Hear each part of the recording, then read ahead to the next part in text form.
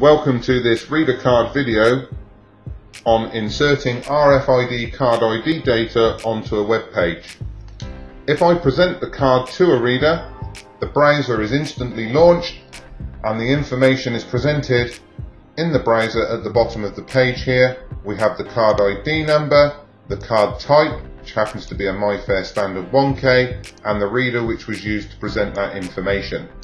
If I present a further card, a second tab is launched with the card ID data again. Again, we can see the card type this time is an iClass card using the same reader that was used on the previous read. Very quick, very easy, very simple. And how is this done using Read-a-Card? If we open up the Read-a-Card software, we look at card types. As you can see, there are an abundance of different card types. You can select all or you can select individual card types. I'm going to select all. We then need to select the reader that we're going to use. The reader that I've selected is the OmniKey 5021, primarily because this has the keys embedded in it from point of manufacturer to be able to read iClass cards. The action that we wish to happen, the action is to launch a URL. So the URL that we're going to launch is here.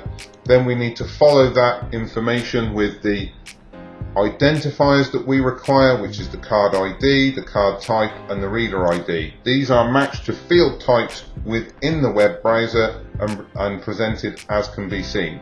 If you require further identifiers, we can use the different formats here to present that information. So we could, for instance, add a timestamp as required.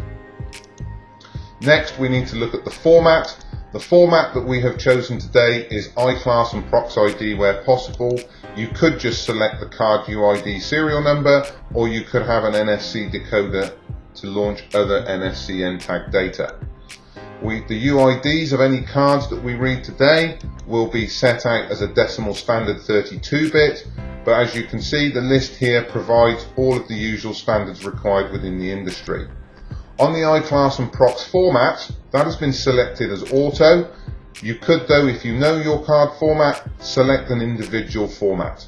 I have chosen today to omit the facility code because we don't require that information, so we only get the card number.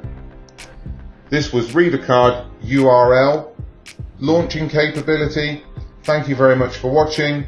If you require further information, then please go to www.readacard.com to see more videos or find more information.